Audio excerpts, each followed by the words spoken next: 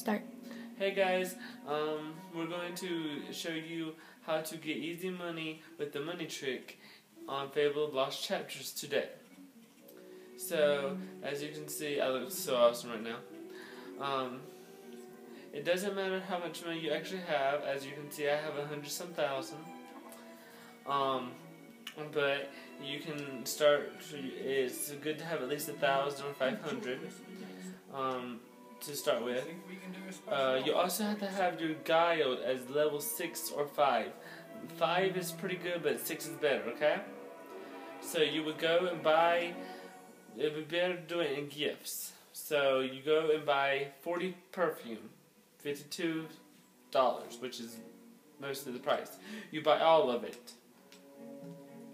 Then you go and sell them back for more, which is 102 and as you can see, I go to 121,485. What does the diamond look like? Oh wow. And then you sell mostly everything you have, and you get more money that way too.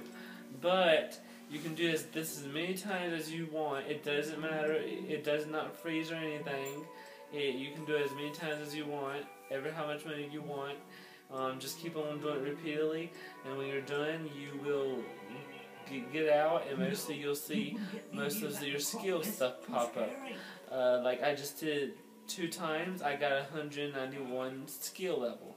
So that's a that's a good money trick to do.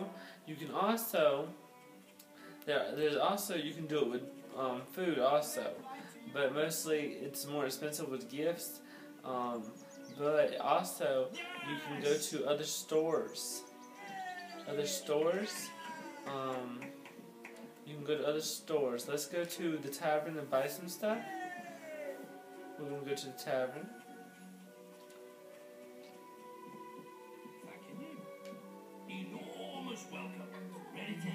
And you go into and see what kind of gifts he has. Roses. Buy all of them.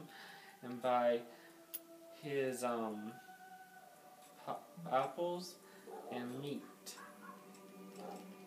take that and go back there and sell it. And you also get more skill like that, and you also get more money that way too. Yeah, we think we can do a special offer for you, sir.